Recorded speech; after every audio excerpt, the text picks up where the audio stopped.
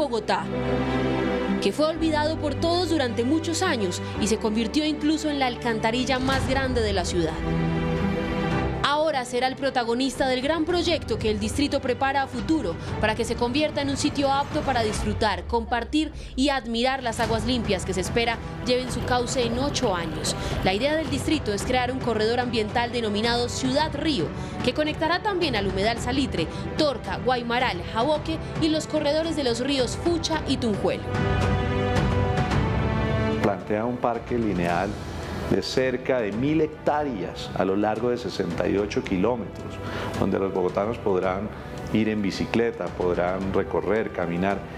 Y adicional a esto plantea cerca de 100 hectáreas para equipamientos. Un megaproyecto que le dará prioridad a la vivienda, pero también estará acompañado de zonas para la educación, la cultura y el deporte. Este escenario atraería alrededor de 1.200.000 personas, no solo de Bogotá, sino también de la Sabana recorrer el río por malecones donde puedan montar en barca, donde puedan eh, hacer eh, otro tipo de actividades deportivas. El distrito espera que muy pronto los ciudadanos puedan disfrutar del nuevo río Bogotá y sus beneficios. Un río para pescar, un río para disfrutar, un eje de vida.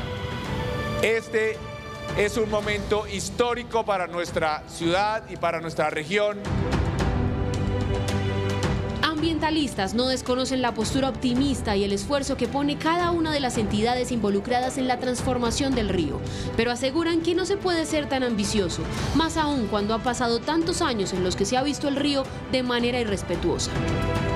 Es un proceso bien difícil, eh, ya hemos lastimado demasiado el río y podríamos pensar en un futuro también en que sea eh, o que se puedan desarrollar algunas actividades agropecuarias.